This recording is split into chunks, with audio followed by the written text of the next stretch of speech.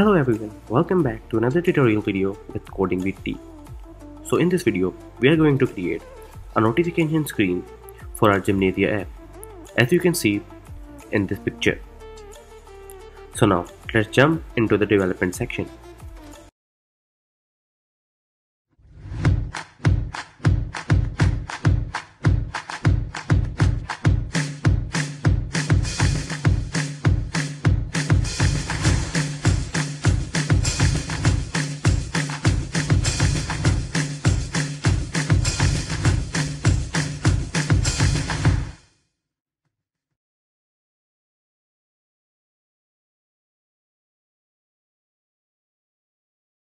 So let's first, let's just create a notification screen in the screen folder and in it create an arrow function.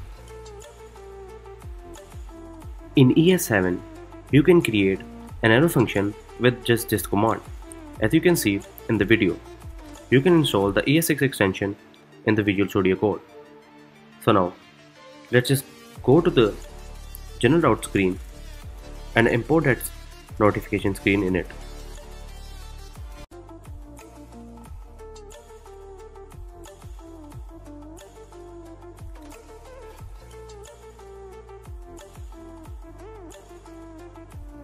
So now, let's go to the bottom tab navigator component and make this notification button pressable.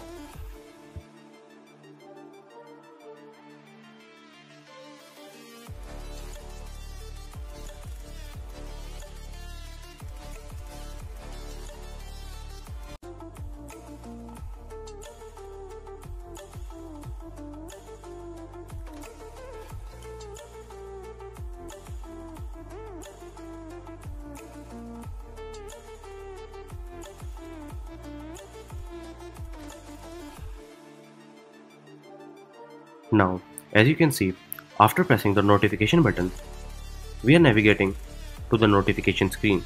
So now, let's just go to the notification screen and start editing there.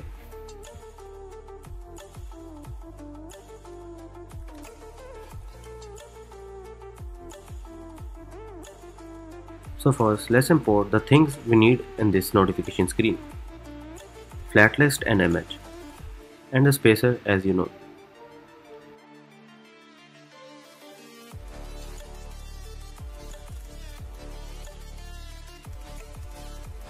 And now let's just create a flat list on the screen. In flat list, we need three type of things.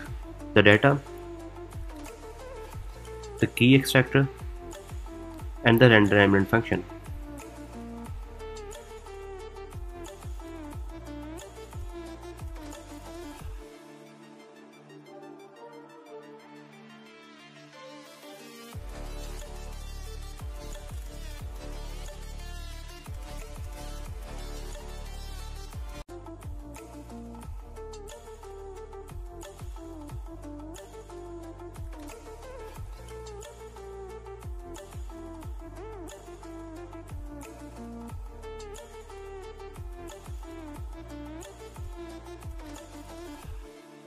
As we don't have any data yet, so I have already created some demo data for you. So let's just import that data on this screen.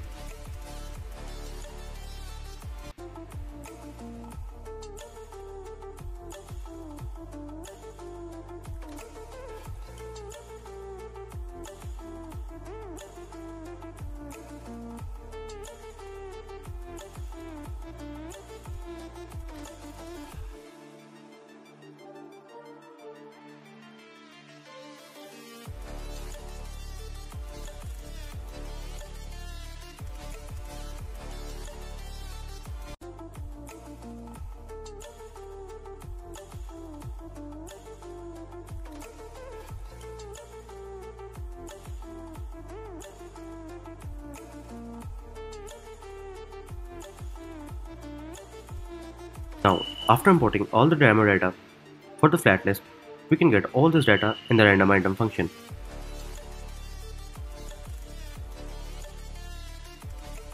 We just have to call item dot and the data name which we want to show on the screen. As you can see, we are getting all the title names in our demo data.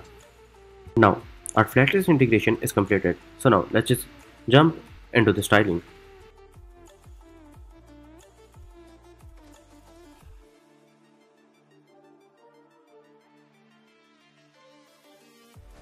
So first, let's just create a container view and give it some styling.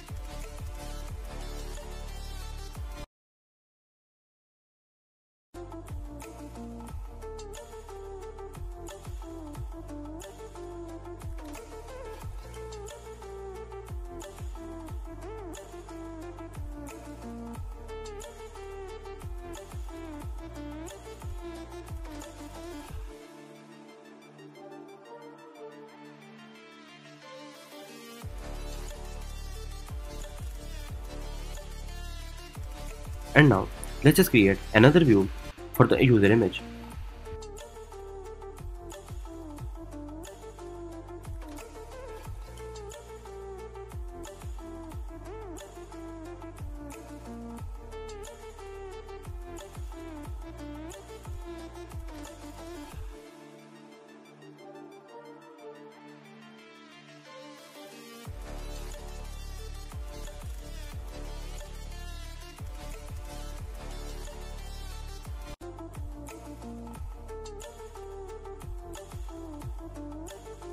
The source of the image will be item.post image. And now let's just give some styling to this image.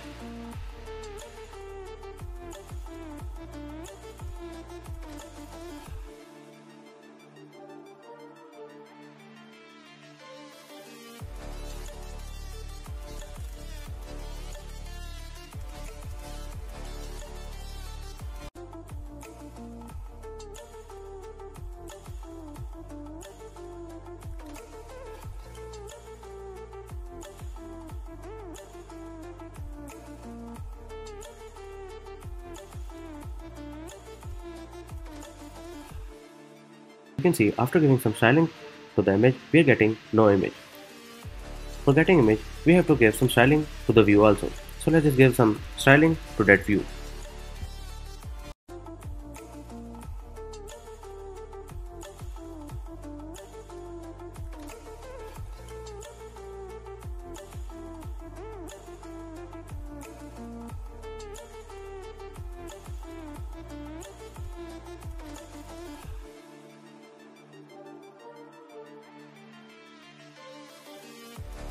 So now, as you can see, after giving some styling to that view, we are getting or all the user image.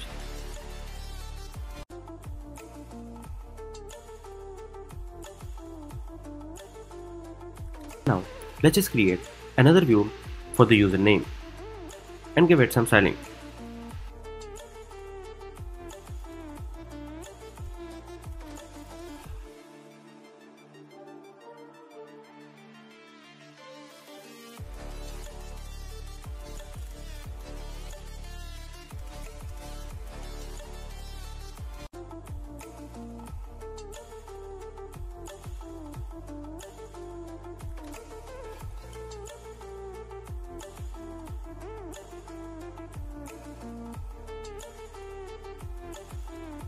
As we want a username with some different color. So let's just give some color to this text.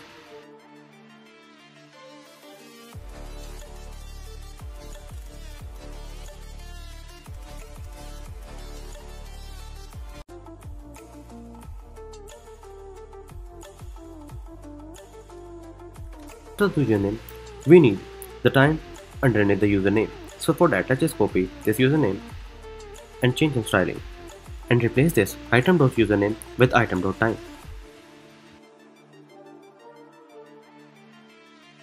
Now, our username and the time is at the correct position.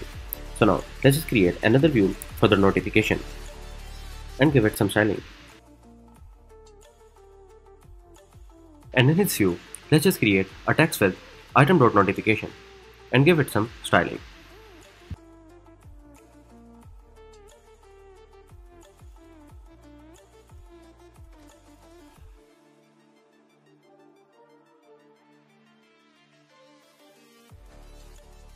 As you can see, there is some gray space under the notification. For that, let's just give some styling to the container view.